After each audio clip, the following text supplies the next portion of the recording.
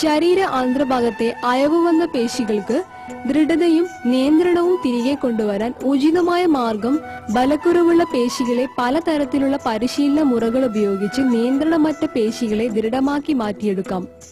ഇത്തരം പരിശീലനങ്ങൾ അനിയന്ത്രിത മൂത്രം പോവൽ ചികിത്സയുടെ പ്രാരംഭ ദിശയിൽ വളരെയധികം പ്രയോജനം ചെയ്യുന്നുവെന്നതാണ് ഗൈനോക്കോളജിസ്റ്റായ ഡോക്ടർ മിലി ബസന്ത് പറയുന്നത്.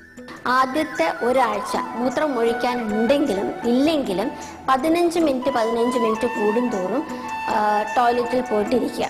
ഒരാഴ്ച അത് പതിനഞ്ച് മിനിറ്റ്. അത് ക്രമേണ ഇരുപത് മിനിറ്റ് ആക്കുക. അടുത്ത ആഴ്ചയിലേക്ക് പിന്നെ ഇരുപത്തഞ്ച് മിനിറ്റ് ആക്കുക.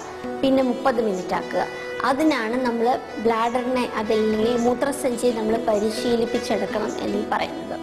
പിന്നെ രണ്ടാമത്തെ കാര്യം എന്ന് പറയുന്നത് പെൽവിക് മസിൽ ഫ്ലോ ട്രെയിനിങ് ആണ്. അതായത് ഓരോ തവണ നമ്മൾ മൂത്രം ഒഴിച്ചുകൊണ്ടിരിക്കുന്ന സമയത്തും ഒന്ന് ചെറുതായിട്ടൊന്ന് പിടിച്ചു വിറ്റ് വേണം മൂത്രം ഒഴിക്കാനായിട്ട് ഇത് ചെയ്യുന്നത് വഴി ആ മസിലുകളുടെ താഴത്തെ ഭാഗം ഇതിനെ എല്ലാത്തിനെയും താങ്ങിക്കൊണ്ടിരിക്കുന്ന മൂത്രസഞ്ചിയെയും ഗർഭപാത്രത്തിനെയും എല്ലാത്തിനെയും താങ്ങിക്കൊണ്ടിരിക്കുന്ന ഈ മസിലുകളുടെ ശേഷി വർദ്ധിപ്പിക്കുവാൻ വേണ്ടിയിട്ടാണ് ഈ പെൽവിക് മസിൽ ഫ്ലോ ട്രെയിനിങ് നമ്മൾ ചെയ്യണം എന്ന് പറയുന്നത്.